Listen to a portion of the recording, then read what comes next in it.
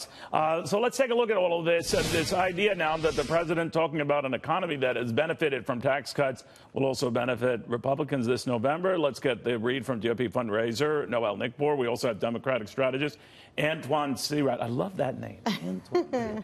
Uh, I did too. So, yeah. Early beats like Neil Cavuto. Anyway, uh, we also have former deputy assistant uh, to uh, Bush 43, Brad Blakeman. Also, that's a marquee name there. Brad, and with you, begin with you. This notion that the president is going to push, and Republicans certainly want to push it. The tax cuts worked, and they are still working. Um, first of all, is that your view? I have a feeling what you're going to say. Uh, but will it will it translate to, to, to saving Republicans and keeping the House this fall? I certainly think it's a great message, and I think the Republican mantra should be you can't argue with success what the president promised, he delivered. As a matter of fact, he exceeded expectations, whether it's on growth, whether it's on taxes. Uh, the American people are actually seeing a politician for the first time in a long time deliver, and, and they're living it now. They're seeing it in their paychecks, they're looking at their IRAs. Uh, we are humming.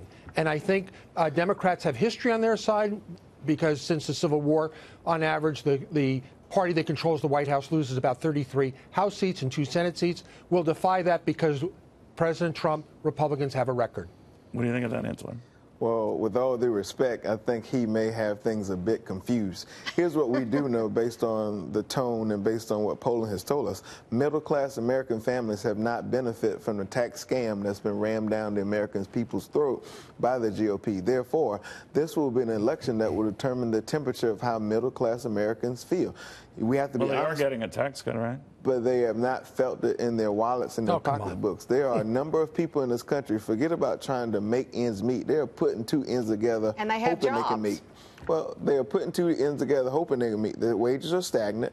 Um, they're still fighting to just. They were really this. stagnant under Obama. Barack Obama, right? Well, you have to remember Barack Obama was the one who saved this economy and oh, got but it wait back a minute. on track. What, what, if, if oh, stagnant oh, wages are an issue to you now, why weren't they an issue to you before? Well, because we had to get the train back on the tracks first. If you we remember, it.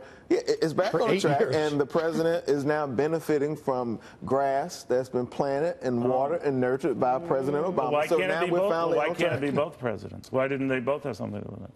Uh, I think Barack Obama was the one who, again, got He's the not train gonna You're not, on giving track. any, you're not going to give any credit I, I, to Donald I, Trump. No, no, I am. I, I am giving him credit for nurturing right. and maintaining the grass that's been planted by I the previous understand. president. I see where we're going. All right. Well, now, uh, you can look at these taxes a variety of ways. I mean, the one point four trillion uh, in different ways of looking at it. 700 billion of those were t- child tax credits, which I would think would be in Antjuan's interest, to something Democrats pay attention to. But having said all of that, um, is the president overhyping something that his predecessor started? To his point. Uh, no, I mean I, I, think that Trump. So has, you won't give him credit?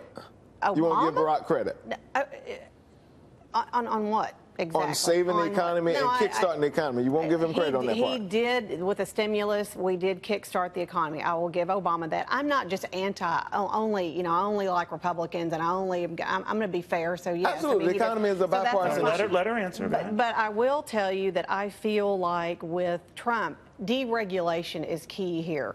Deregulation, he, you know, uh, with a lot of the, um, you know, the FDA, with a lot of different uh, organizations uh, under his belt that he's made these appointments, deregulation. Well, that certainly started key. at cap spending and all of that, right? And, and with the repatriation of funds and with the tax cuts, if you have a big combo like that, um, it, it's a road to success. If you don't believe me, look at what the market's doing. However, when the market's going down because of a lot of the news headlines, in general, we've never had, and I mean, Neil, you know more about this than I do, we've never had markets at this level, right?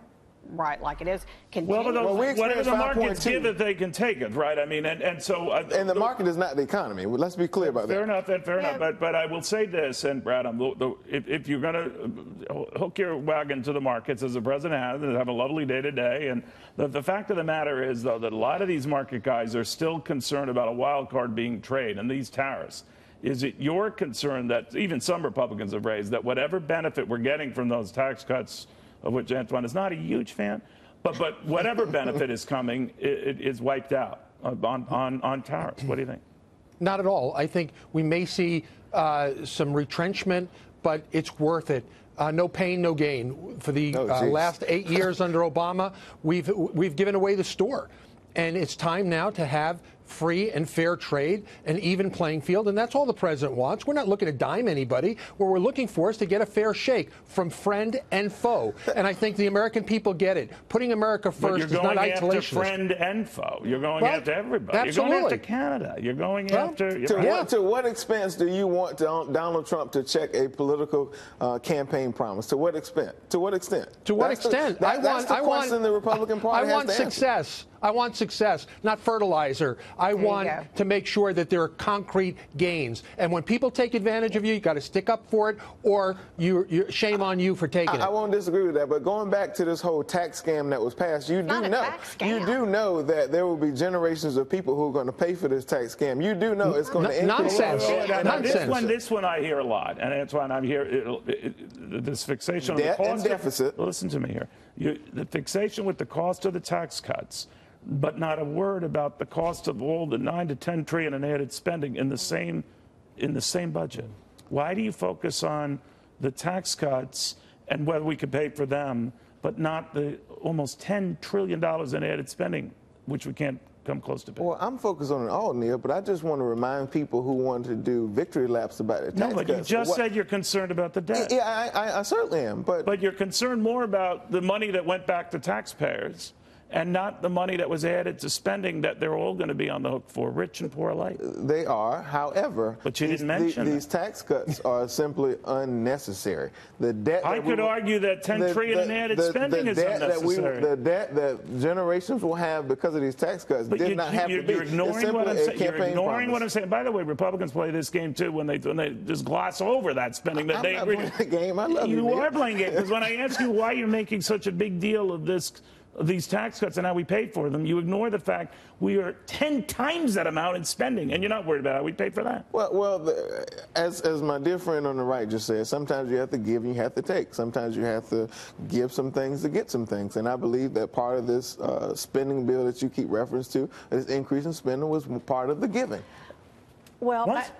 That- It, it was part. It was part of something we had. Bottom to- line, you're okay with it. Bottom line, you're okay with it. I, listen, I'm okay with it because the majority party made it happen. All right, well, you know what? That's like me justifying eating an entire apple pie. Uh, it was there. We just had it. All right. Anyway, uh, Bottom line, I think that, you know, uh, originally uh, you were wondering if this is going, if the blue wave is going to be able to, to make a difference. And I actually think that the red wall is going to stand and the blue geez. wave's not going to be able to go over it. Because if we have numbers like we're having now and, and general America, pretty much general America, not talking about the left, but general America, if they're happy with the way things are,